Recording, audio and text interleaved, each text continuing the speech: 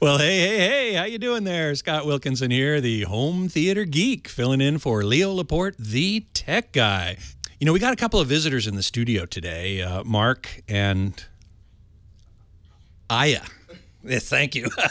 I'll remember that by the end of the show, I'm sure. And Mark asked me a really interesting question that uh, is very basic but really important. And we started to touch on it in the last hour uh, when we were talking about pre-pros or preamp processors. And he asked me, I don't really understand what an AVR is, what an AV receiver is. And this is a great question. Uh, because it's a fundamental aspect of all home theaters, really.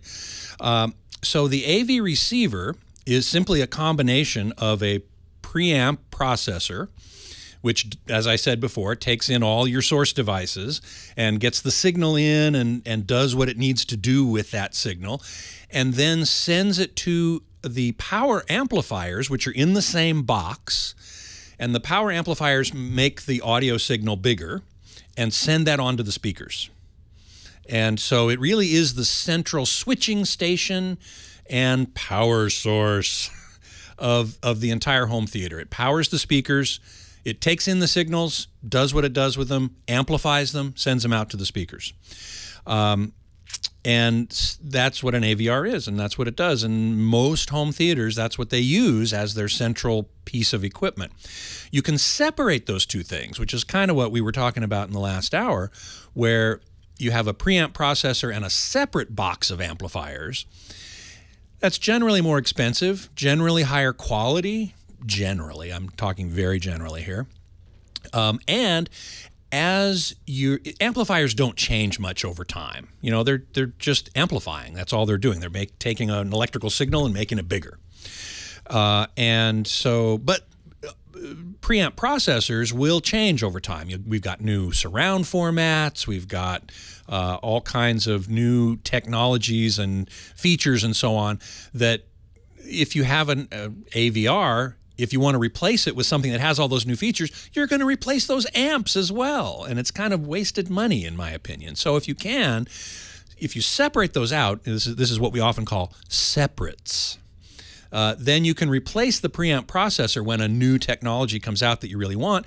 Keep your amps because they still work just fine. There's no nothing's going to change there. And uh, and there's then you have all the latest and greatest without having to give up the amps in the previous AVR, buy a new set of amps. You don't need to spend that kind of money. Now, granted, uh, preamp processors by themselves tend to be a little on the expensive side because uh, they're they're generally considered to be a, a sort of higher end product. Uh, but you know, if you buy amps and you really like them, then then you're keeping them. The other interesting thing to do is to buy powered speakers. If you there are these things called active speakers or powered speakers which have the amplifier built into the box of the speaker. Then all you really need is a pre-pro, what we call a pre-pro, preamp processor. And that will send what's called a line level signal out to the speakers directly, and the speakers will amplify their, their own signal. That's a kind of a more specialized approach. Some people do it. And in fact, on the Screensavers, which is uh, the podcast that I will be guest hosting uh, later this afternoon, we're going to be talking with Tony Grimani, uh, who has a new set of speakers that are powered, that have this exact same approach that they put the amplifier inside the speaker so that you don't have to worry about where the amp goes or anything like that. There's also some uh, thought to the fact that if you put the amplifiers in with all the electronics, the processing electronics, uh, you have to be pretty careful about how you shield things, right? Because amplifiers make a big signal and that will make a big electromagnetic field within this box and that might interfere with certain things. So if you separate them out, you're, you're lowering the risk of, of separating them out. So that is my uh, short little bit about AV receivers. You know, before we go on, I should tell you that uh, uh, in a slightly self serving manner, I should say, that my day gig is uh, as the editor of audio. Uh, avsforum.com. Audio Video Science is what AVS stands for. And this is the world's largest online community of audio video enthusiasts, or what we might call geeks. And um, I am very pleased and happy and honored and privileged to be the editor of that forum. Now, I don't go in and edit forum posts. You know, for what a forum is, right? It's a users getting together and chatting with each other, asking questions, answering questions, and so on. And uh, this this AVS forum started in 1999 and it has grown to over a million members. So it's huge, and I can't possibly, you know, read everything that's on there. Uh, but what I do is provide what's called editorial content. So as a professional journalist, I have been for close to 30 years, all told.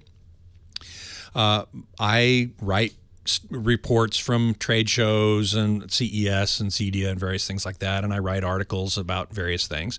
And uh, my colleague Mark Henninger and I uh, both do that, and Ralph Potts writes reviews of Blu-rays. And his reviews are very, very good, I think, because not only does he review the movie itself, he also reviews the audio and video quality of the Blu ray. So this is really cool because audiophiles certainly do this. They have certain selections that they play for their friends and they say listen to how great my system is.